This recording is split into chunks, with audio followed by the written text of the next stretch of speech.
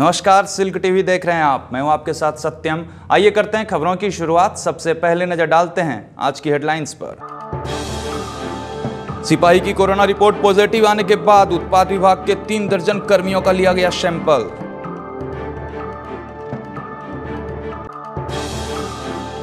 पूर्वी बिहार के सबसे बड़े अस्पताल में दावों की खुली पोल, मायागंज अस्पताल से बिना इलाज किए मरीजों को किया गया रेफर।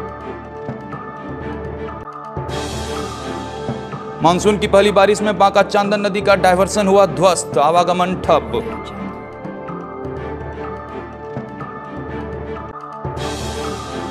जदयू व्यवसायिक प्रकोष्ठ ने चलाया जागरूकता अभियान, प्रदेश उपाध्यक्ष ने बांटे हज़ारों मास्क।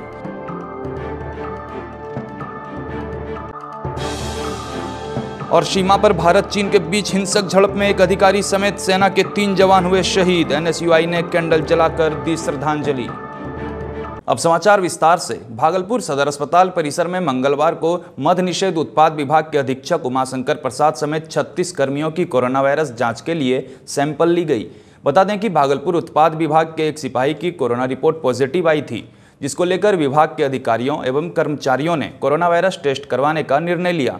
सदर अस्पताल कोरोना जाँच लैब में मेडिकल गाइडलाइंस के अनुसार अस्पताल के चिकित्सा पदाधिकारी डॉक्टर ए के मंडल एवं अस्पताल प्रबंधक जावेद मंजूर की देखरेख में सैंपल ली गई। इस दौरान सभी लोगों को कोरोना के प्रति सावधानी बरतने और रिपोर्ट आने तक सेल्फ क्वारंटाइन में रहने की बात कही गई।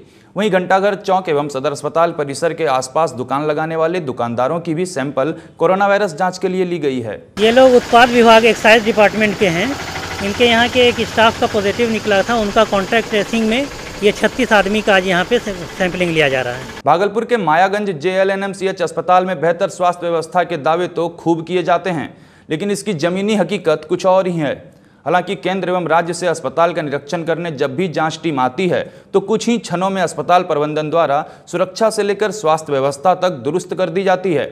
वर्तमान समय में सामान्य बीमारियों का इलाज करने से भी डॉक्टर पल्ला झाड़ रहे हैं। दरअसल खगड़िया, दुधैला गाँव निवासी टुनटुन मंडल की रीढ़ की हड्डी में दर्द की शिकायत होने पर परिजनों ने इलाज के लिए उन्हें मायागंज अस्पताल में भर्ती कराया। लेकिन डॉक्टरों ने अस्पताल में रीढ़ की हड्डी से जुड़ी बीमारियों का इलाज नहीं होने की बात कहकर पल्ला झाड़ दिया और मरीज़ को मुफ़्त इलाज करवाने की बात कहकर पटना रेफर कर दिया। बता दें कि मरीज़ टुनटुन मंडल मजदूरी कर अपने घर वालों का भरण पोषण करता है और लॉकडाउन के कारण उसकी आर्थिक स्थिति बदतर हो गई है, जिस कारण पटना जाकर इलाज कराना मुश्किल हो गया। वहीं परिजनों ने कहा कि मायागंज अस्पताल में एंबुलेंस मौजूद होने के बावजूद एंबुलेंस नहीं दिया गया और प्राइवेट एंबुलेंस के लिए पैसे नहीं थे। मरीज़ की आर्थिक स्थिति खराब होने के कारण घर भी ऑटो से जाना पड़ा। अब ऐसे में सवाल यह उठता है कि पूर्वी बिहार के सबसे बड़े अस्पताल में जब मरीजों का इलाज करने और एंबुलेंस मुहैया कराने के नाम पर अस्पताल प्रबंधन पीछे हट जाता है तो सरकार किस बेहतर स्वास्थ्य व्यवस्था की बात करती है? इसको हीर में दर्द है हड्डी में बिछलका हड्डी में। हड्डी में दर्द है माथा में दर्द है और बुखार आता है पाँच छः महीनों से। हाँ यहाँ दिखाने के लिए ले आया है, यहाँ नहीं देखेगा, यहाँ चिट्ठा पे लकड़े देख लिया है, उसने कहे हैं कि तुम ले जाइए पटना। मिला है, सर पैसा नहीं है तो हम कैसे ले जाएगा? सरकारी नहीं है, कल के कि उसने कहे कि सरकारी नहीं है, हम पहुँच दीजिएगा? मानसून की पहली बारिश में ही बांका चांदन गंगटी नदी पर बना डायवर्सन तेज बहाव के कारण टूट गया। डायवर्सन टूटने के कारण शंभुगंज, असरगंज मुख्य मार्ग पर आवागमन ठप हो गया, जिस कारण कई छोटे बड़े वाहन फंस गए और बाराहाट, बौसी, रजौन एवं धौरैया का संपर्क जिला मुख्यालय से टूट गया। इसके पूर्व 31 मई को पानी के तेज बहाव के कारण अस्थायी डायवर्सन टूट गया था। वहीं सोमवार को पुल के डायवर्सन के टूटने से लोगों को आने जाने के लिए काफ़ी मशक्कत करनी पड़ रही है और लोग जान जोखिम में डालकर नदी पार करने को विवश हैं, जबकि लोगों ने डायवर्सन टूटने के लिए सरकारी नीति और अधिकारियों को जिम्मेदार बताया। साथ ही कहा कि कभी भी किसी के साथ बड़ा हादसा हो सकता है, लेकिन जनता से किसी को कोई मतलब नहीं। वैश्विक महामारी कोरोना वायरस से बचाव के लिए भागलपुर में कई संगठन लोगों के बीच जागरूकता फैला रही है। महामारी की रोकथाम के लिए शहर में जदयू व्यवसायिक प्रकोष्ठ के प्रदेश उपाध्यक्ष दीपक कुमार भुवानिया लोगों के बीच मास्क एवं सैनिटाइजर का वितरण कर रहे हैं। सूबे के मुखिया नीतीश कुमार के निर्देश पर प्रदेश उपाध्यक्ष ने नौवे दिन भागलपुर के विभिन्न वार्डों और चौक चौराहों पर जाकर पचपन सौ मास्क का वितरण किया। दीपक भुवानिया ने बताया कि अब तक उनकी टीम के द्वारा पैंतालीस हज़ार से ज़्यादा मास्क का वितरण किया जा चुका है और एक लाख लोगों को बांटने का लक्ष्य रखा गया है। मंगलवार को पूर्व महापौर दीपक भुवानिया ने एसएम कॉलेज रोड और खंजरपुर इलाके में अभियान चलाकर लोगों को जागरूक किया। साथ ही बिना मास्क पहने लोगों को मास्क दिया। दीपक कुमार भुवानिया ने कहा कि हमारी सरकार आम जनता के स्वास्थ्य एवं रोज़गार को लेकर कई योजनाओं पर काम कर रही है। मौके पर जिलाध्यक्ष दीपक गुप्ता, अभिजीत गुप्ता, उमा मोदी, अजय राय समेत कई जदयू कार्यकर्ता मौजूद थे। जो कोरोना ऐसी जो महामारी बीमारी है, इसके लिए आप देखते होंगे कि देश में हमारे जो प्राइम मिनिस्टर हैं, वो भी इसके बारे में बोल रहे हैं।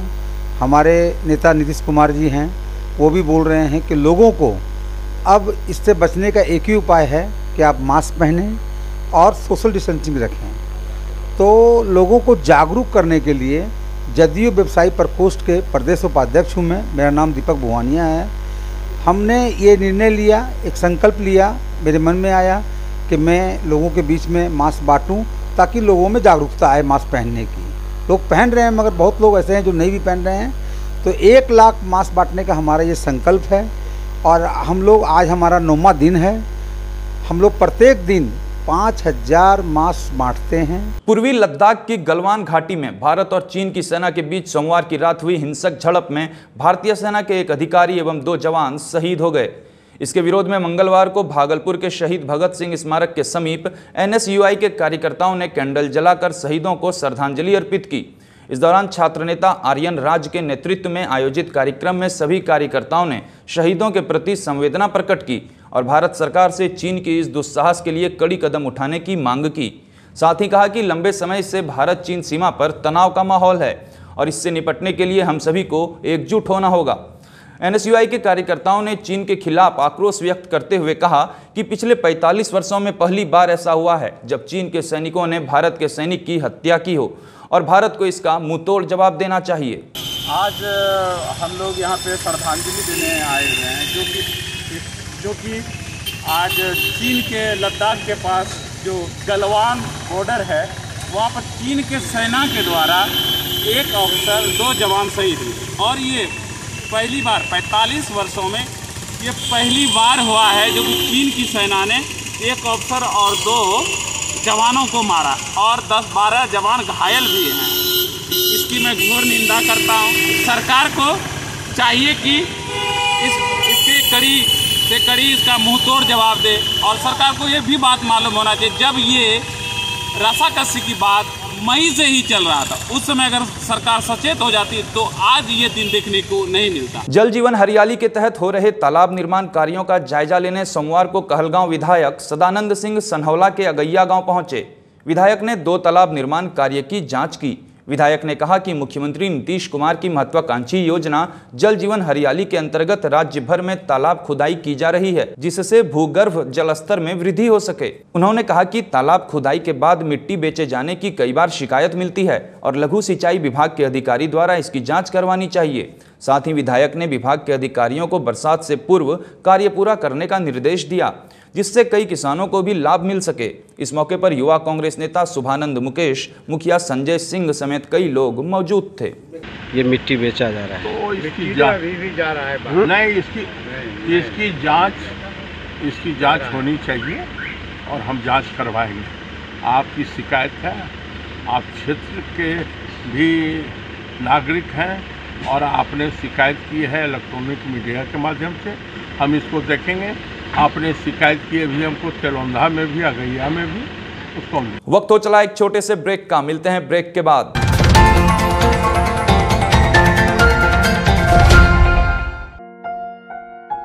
मन की उदासी नस सिर दर्द हिस्टीरिया पागलपन मिर्गी अनिंद्रा सेक्स रोग एवं नशा जैसे पुरानी शराब गांजा भाँग ड्रग्स एवं किसी भी प्रकार के पुराने नशे के इलाज हेतु संपर्क करें भागलपुर स्थित आनंद क्लिनिक जो consultant neuropsychiatrist sexologist de addiction therapist के मशहूर डॉक्टर ऋषि आनंद की देखरेख में किया जाता है।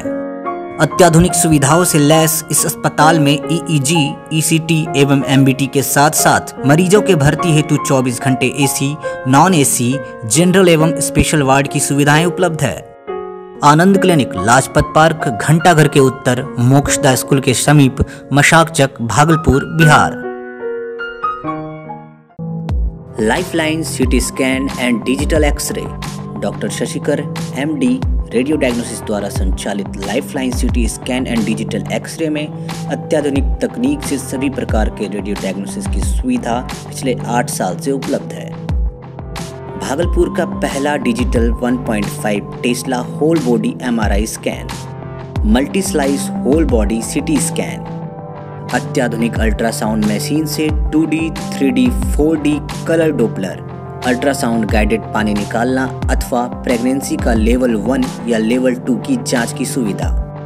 डिजिटल एक्सरे से सामान्य एक्सरे के साथ साथ आईवीपी, आरजीयू, एचएसजी की जाँच। डिजिटल डेंटल एक्सरे से पूरे जबड़े का ओपीजी। अत्याधुनिक पैथोलॉजी की व्यवस्था, खून, पेशाब आदि जाँच के लिए बाहर जाने की ज़रूरत नहीं। हवादार प्रतीक्षालय एवं शुद्ध पेयजल की व्यवस्था। कोरोना संक्रमण के प्रति सचेत व सुरक्षित व्यवस्था। Lifeline city scan and digital X-ray का रिपोर्ट सभी बड़े अस्पतालों व डॉक्टरों द्वारा मान्य है। Lifeline city scan and digital X-ray क्या आपको कान, नाक या गले में कोई समस्या है? जैसे कान बहना, सुनने में परेशानी, कान में दर्द, गले की खराश, गले में दर्द थायराइड, नाक का मांस बढ़ना या एलर्जी इत्यादि है तो समस्या के निदान हेतु आपके शहर में विश्व स्तरीय अस्पताल एडवांस ईएनटी हॉस्पिटल, जिसमें अति आधुनिक उपकरणों द्वारा उपचार डॉक्टर एच आई फारूक की देखरेख में किया जाता है। डिजिटल एक्सरे एवं कंप्लीट ऑडियोलॉजिकल प्रोफ़ाइल की व्यवस्था साउंड प्रूफ परिवेश में बेरा ऑटो इकोस्टिक इमिशन टेम्पोनोमेट्री जाँच की जाती है। और हाँ एक दिन के बच्चे की भी सुनाई का आकलन किया जा सकता है। बिना तार वाली कान के अंदर लगने वाली सूक्ष्म देसी विदेशी सुनाई की मशीन भी उपलब्ध है। विदेशी मशीनों से सुसज्जित ऑपरेशन थिएटर तथा पेशेंट के रहने के लिए AC, non AC general ward उपलब्ध है। चंपा नाला पुल के निकट चंपानगर, भागलपुर।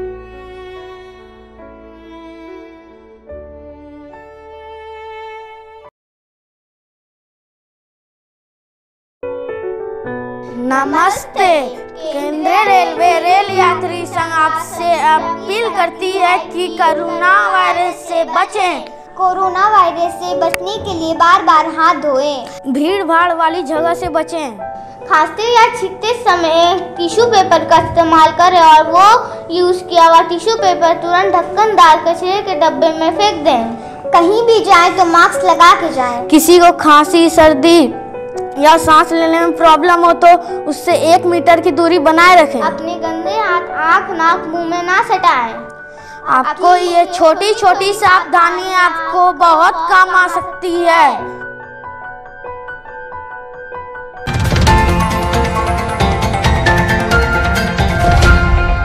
ब्रेक के बाद फिर से आपका स्वागत है। बढ़ते हैं अगली खबर की ओर। भागलपुर जिला भाजपा अध्यक्ष रोहित पांडे के नेतृत्व में मंगलवार को विधिक प्रकोष्ठ जिला संयोजक वीरेश मिश्रा की मौजूदगी में महाजनसंपर्क अभियान चलाया गया।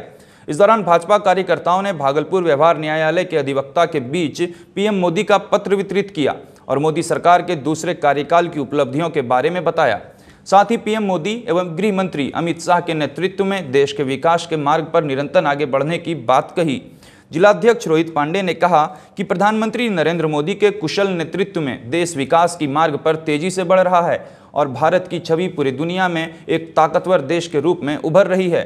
साथ ही कहा कि कोरोना वायरस से बचाव के लिए सरकार के साथ आम जनों को भी आगे आना होगा और स्वास्थ्य विभाग की एडवाइजरी का पालन करना होगा। भागलपुर प्रधान डाकघर में मंगलवार को सम्मान समारोह का आयोजन किया गया। इस दौरान इंडिया पोस्ट पेमेंट बैंक के शीर्ष 10 डाकपालों को भागलपुर परमंडल के डाक अधीक्षक आरपी प्रसाद ने पुरस्कृत किया।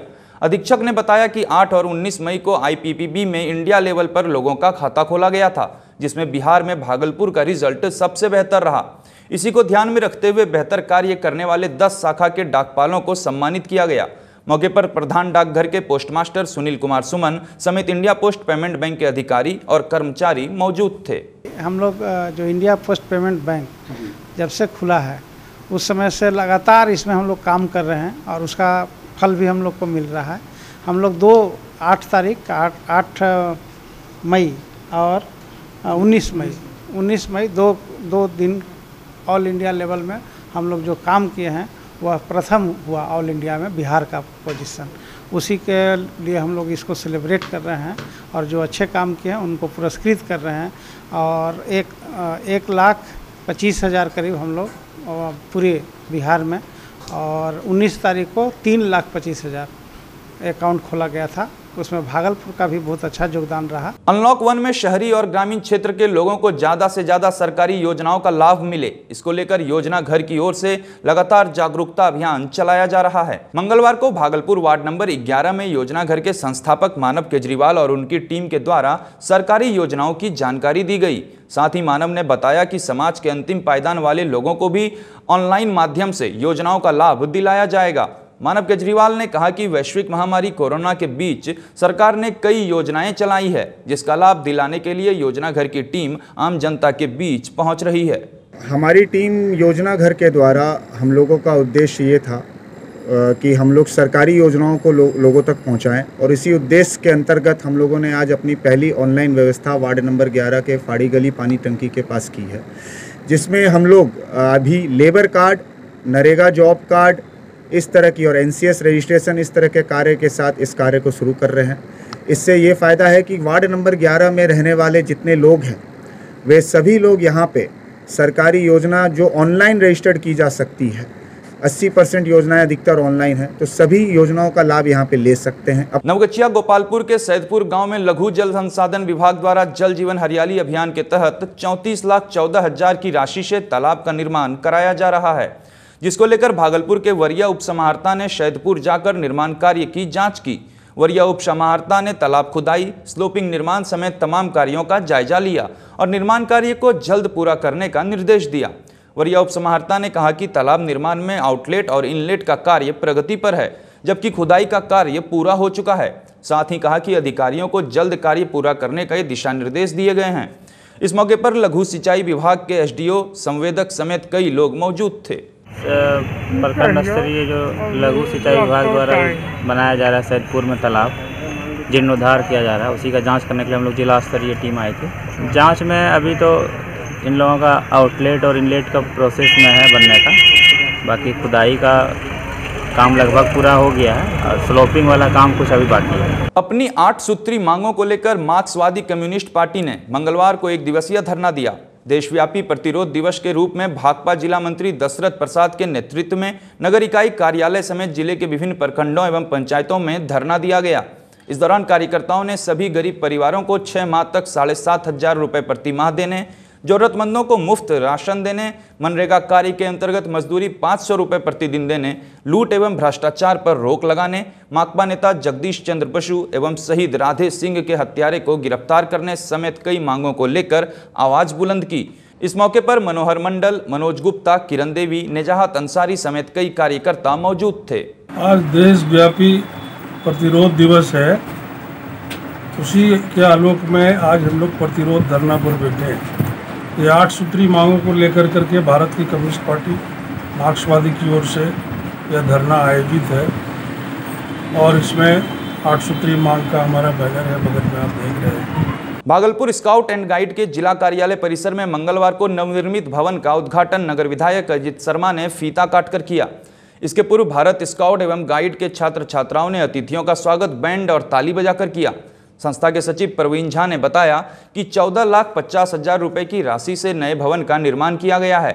वहीं विधायक अजीत शर्मा ने कहा कि नए भवन का निर्माण करने के बाद भागलपुर में स्काउट गाइड के कार्य एवं ट्रेनिंग में काफ़ी सुविधा मिलेगी। समाज सेवी प्रकाश चंद्र गुप्ता ने नए भवन के निर्माण में सहयोग राशि देने वालों की जमकर प्रशंसा की।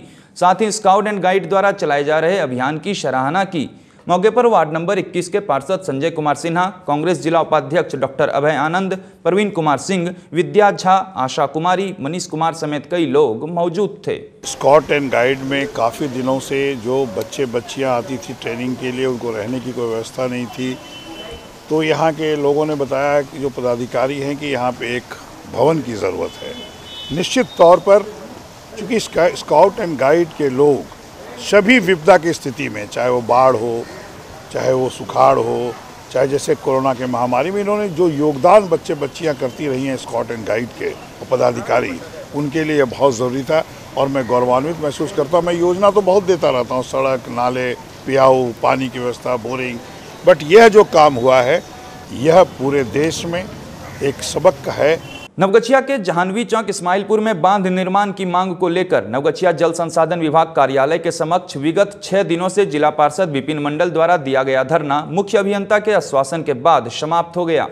सोमवार को कटिहार जल संसाधन विभाग के मुख्य अभियंता शशि शेखर पांडे ने घटनास्थल पर पहुंचकर जिला पार्षद एवं उनके समर्थकों से वार्ता की और लिखित आश्वासन देकर धरना समाप्त करने का आग्रह किया, जिसके बाद जिला पार्षद को शीतल जल पिलाकर धरना समाप्त करवाया गया। इसके पूर्व कार्यपालक अभियंता के साथ पहले चरण की वार्ता विफल होने के कारण पार्षद एवं ग्रामीण काफ़ी आक्रोशित हो गए थे और जल संसाधन विभाग के कार्यालय का दरवाज़ा बंद कर दिया था जिसके बाद मुख्य अभियंता की पहल पर सकारात्मक माहौल में धरना समाप्त कराया गया। जिला पार्षद ने कहा कि साल में तीन माह इलाके में पूरी तरह पानी रहता है और बाँध निर्माण होने से ग्रामीणों को भारी जल जमाव से मुक्ति मिलेगी। यही हुआ कि उधर से सीमांकन का कार्य होगा और किसानों को समस्या को दूर करके सहमति लिया जाएगा। कब से? कैंप लगना है। कल से ही बात हुई है। और अंत में चलते चलते एक नज़र डालते हैं आज की हेडलाइंस पर। सिपाही की कोरोना रिपोर्ट पॉजिटिव आने के बाद उत्पाद विभाग के तीन दर्जन कर्मियों का लिया गया सैंपल।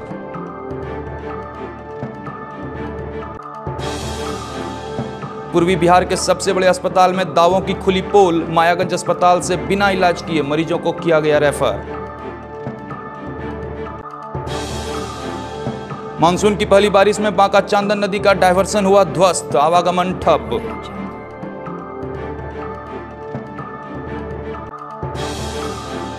जदयू व्यवसायिक प्रकोष्ठ ने चलाया जागरूकता अभियान, प्रदेश उपाध्यक्ष ने बांटे हज़ारों मास्क।